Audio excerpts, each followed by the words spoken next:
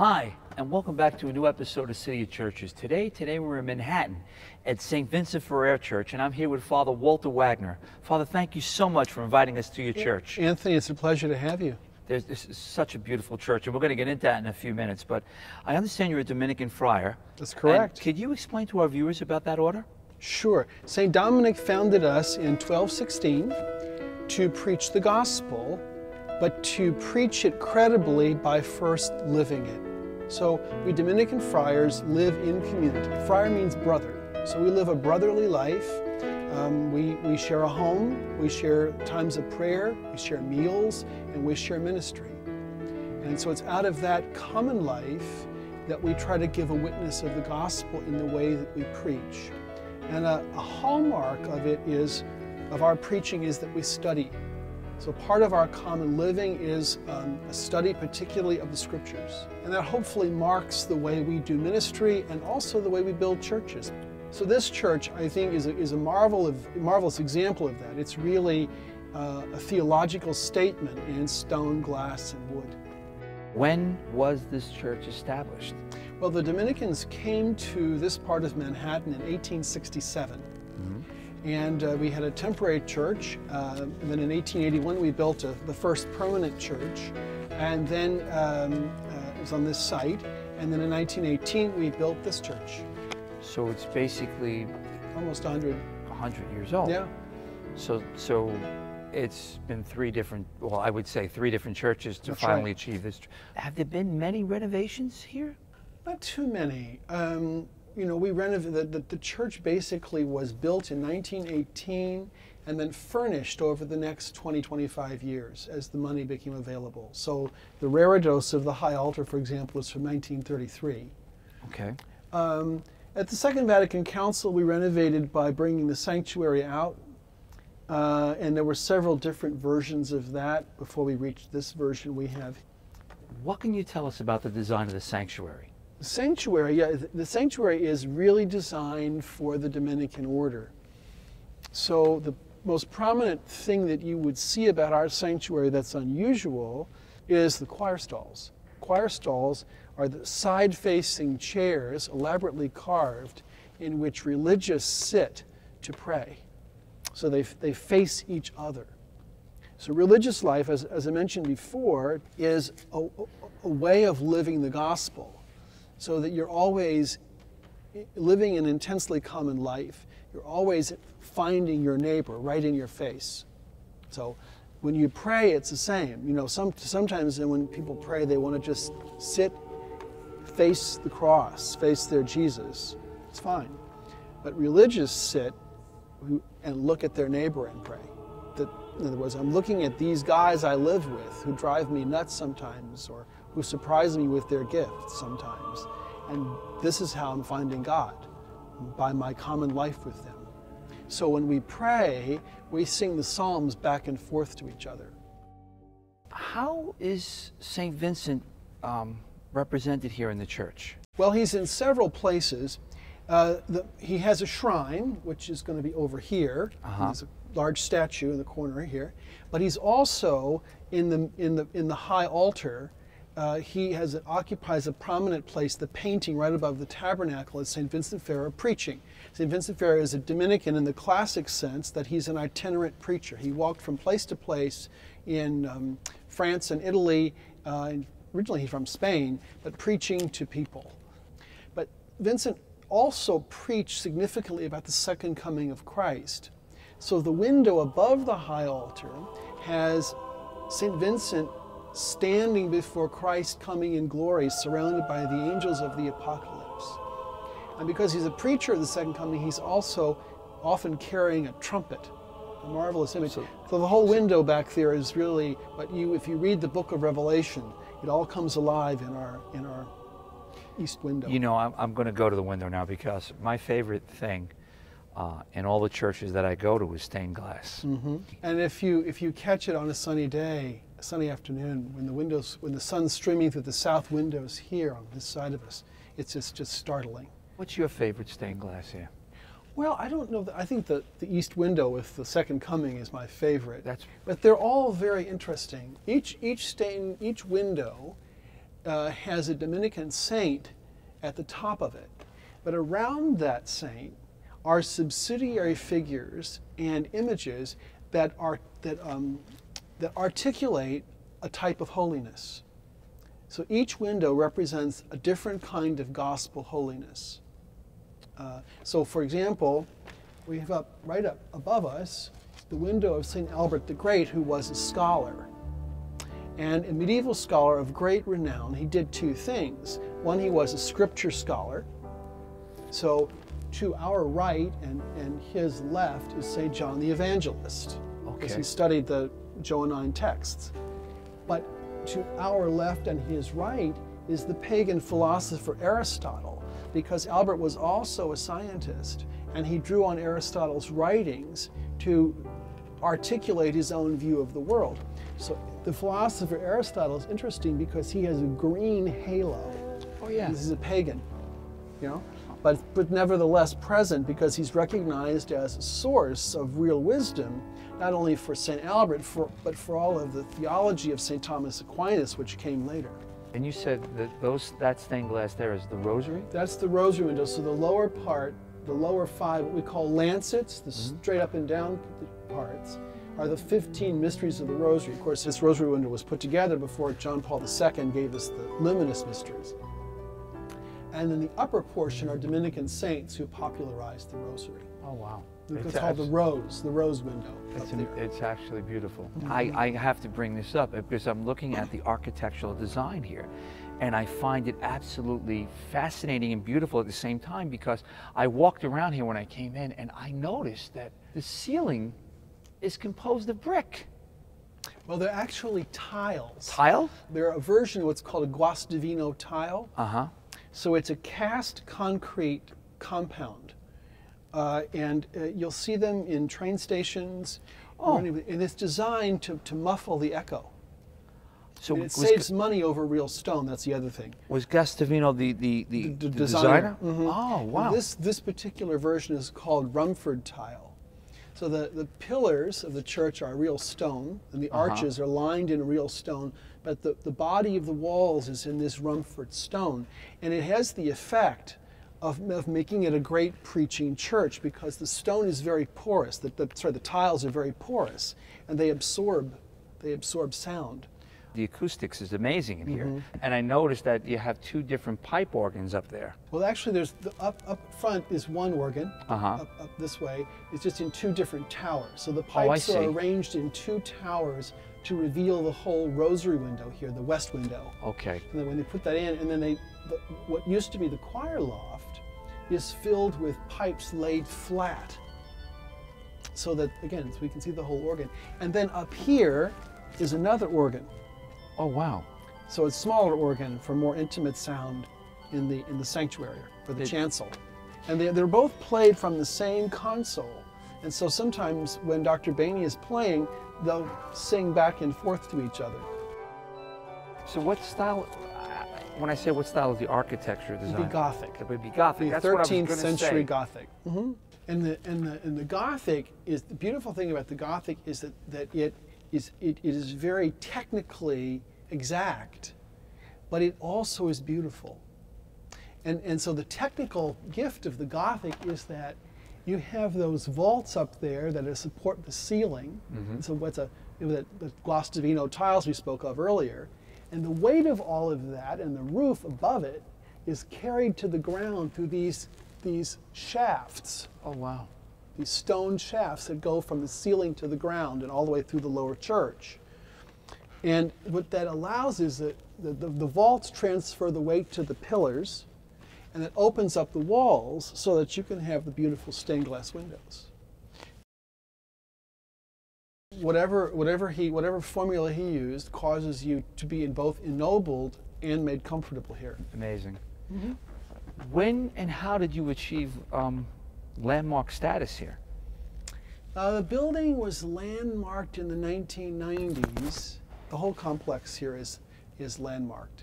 Now, I, I noticed the, the crucifix above Mm-hmm. here. There's one here. That's right. There's one out front. Front and then above the tabernacle It's a special kind of crucifix which we usually call the rood. Actually, rood is a, is a, is a medieval English word for cross, uh, R O O D, though the Holy Rood is the Holy Cross.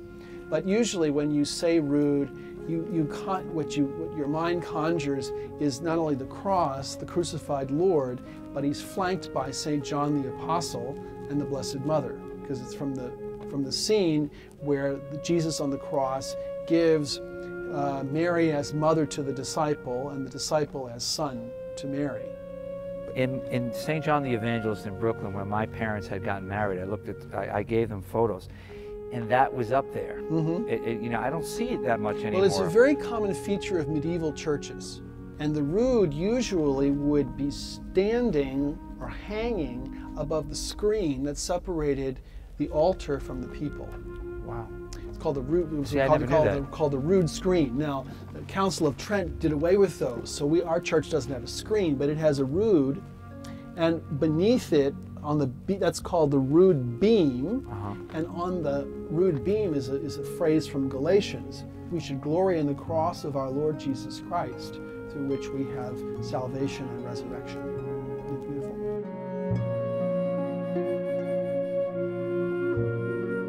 But our, our rood is also unusual because in addition to having Mary, uh, the Blessed Mother, and St. John, it has the two thieves. So there's the two, the two Yes. thieves on their crosses. So, but when you come into the church, the rood is present, and it's here at the entrance to the sanctuary, and then it's present again in gold above the tabernacle. Wow. More, all, all these kinds of details are planned out. It amazes me how much work, like you just said, how much work and detail goes into this. It's not just thrown together. It's. Oh a, no, it's not random at all. It's No. all a plan. the, the stations of the cross are very unique here. Uh, They Can are. You tell us, Well, they're, viewers about them? they're designed to look like they were bought over time. They're not. They don't match. So, so in other words, the, the- what would be interesting because the the, friend, the, the, the, the stations of the cross were popularized by Franciscans.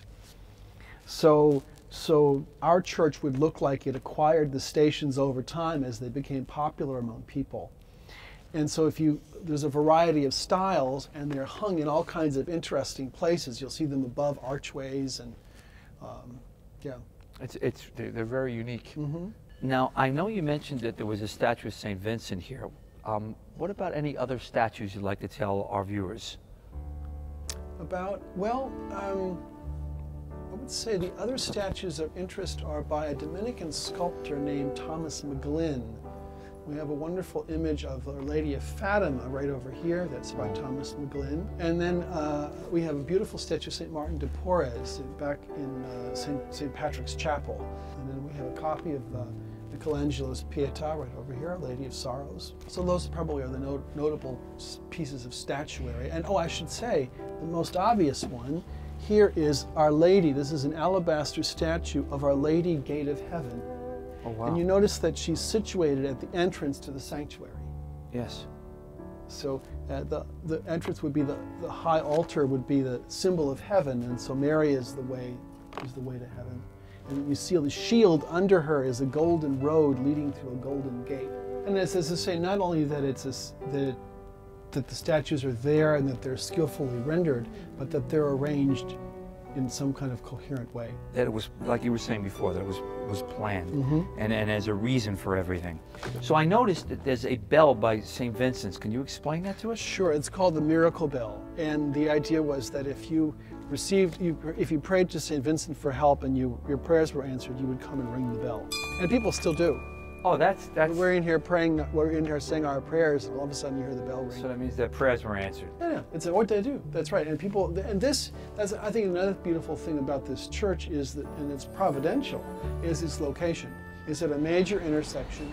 It's near two major subway lines, and so people from all over the city come here and pray. And because it's open all day long, it's it's a place where people can sort of be in their corner. How, how many people, I know you mentioned it before, but how many people can you sit in here? I would say now about 800.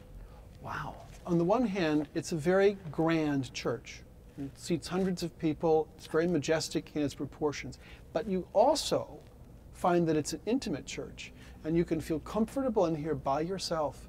You can go into a corner and feel like you are in one of the most small village churches somewhere else. How was the neighborhood changed, so to speak, as when the church was first established? Well, when you, as as you say, when the church was built, this would have been um, to the east, a working class neighborhood, and to the west, toward the park, a more professional class neighborhood. Um, and, and we had still had the elevated railways on Third Avenue and Second Avenue. So um, there were lots of lots of walk-up tenements packed with people. So when this church was built, it had 3,000 families attached. Wow. And there was a lower church, so you had masses on the half hour and people packed in.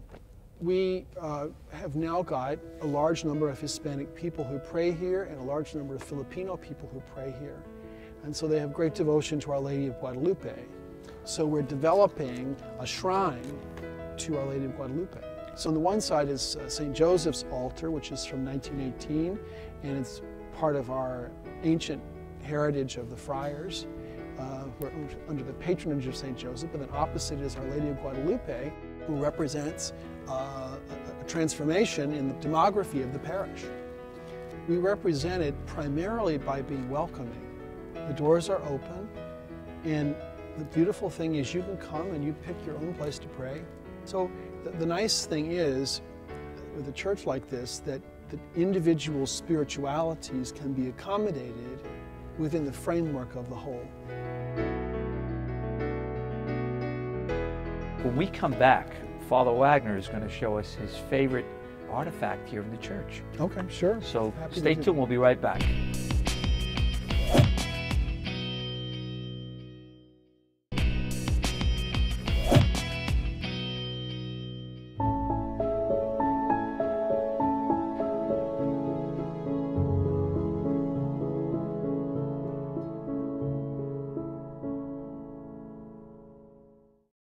Welcome back to City of Churches, and here I am with Father Wagner, who's going to tell us something very unique about St. Vincent's. Terrific. We're actually standing at the Rosary altar. Now, each of the side altars of the church has a different style and is directed to a purpose. So, in this case, this is uh, Our Lady's altar in the church. In Dominican uh, spirituality, Our Lady is connected intimately with the Rosary. So, in the, at the heart of the uh, reredos here is Our Lady giving St. Dominic the rosary. Oh, wow. And, uh, and then beneath that is this uh, dog here carrying a torch in his mouth. Now, that comes from a legend that St. Dominic's mother, when she was pregnant with him, had a vision of a hound carrying a torch. It's a play, really, on the name of the order. Dominicanes, where the Dominicans, Dominicanes would also mean in Latin the dogs of God. Oh. So we go around the world uh, faithfully and loudly proclaiming the truth, which is the light, the torch in the mouth there. Beneath the um, image here of the rosary is uh, what we call the dossal of the altar, and it features Pope St. Pius V, who was a Dominican, and he's sitting here in the Vatican oh, praying. yes. And he's praying for the Christian fleet battling the Turks in the Battle of Lepanto. And it was a famous time when the Pope asked people to pray and use the rosary to, to pray for the, for the Christians who ended up winning the battle. And on this side, you have a friar preaching the rosary to people. In the middle of the dossal and on the tabernacle, you have the image of a pelican I see that, yes. Uh-huh. who feeds, according to legend, the pelican feeds its young with its blood. So it's an image of the Lord who gives himself to us in the Eucharists. So that's why it's on top of this tabernacle. And this tabernacle sits here because this altar was designed to be the repository for Holy Thursday. Um, and further, the altar is bluish marble. Our Lady's color is usually blue, so you can see it in the stone. And then over here is the, what we call the Easter sepulchre. And traditionally in English churches, English medieval churches, in the north wall of the church, there is a tomb like this. And it was used uh, during Easter time because on Good Friday they would uh, put the host in a shroud and bury it, and then on Easter Sunday they would resurrect it with a big solemn procession. Now, this uh, tomb was put in because our architect Bertram Goodhue loved English things.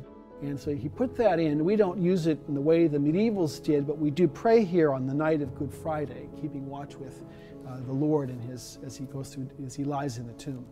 So, Father, that, that uh, there's a lot of history here. there is. and a lot of great things that, that you shared with us. And I, I just want to thank you My pleasure so entirely. much for I'm very glad to welcome inviting you here. us Yeah. at City of Churches to come here and film. And I want to just say to all our viewers, I, I hope you enjoyed this episode of City of Churches at St. Vincent Ferrer. And uh, if you have any questions about this church or any other church, please, you can follow us on Facebook or Twitter. Or you could write into us at 1712 10th Avenue, Brooklyn, New York, 11215. Until next time, I'm Anthony Mangano. We're with Father Wagner. I want to thank you all so much for watching our show. Catch our next episode. See you real soon. God bless you. I had to tell you. Thank you so much.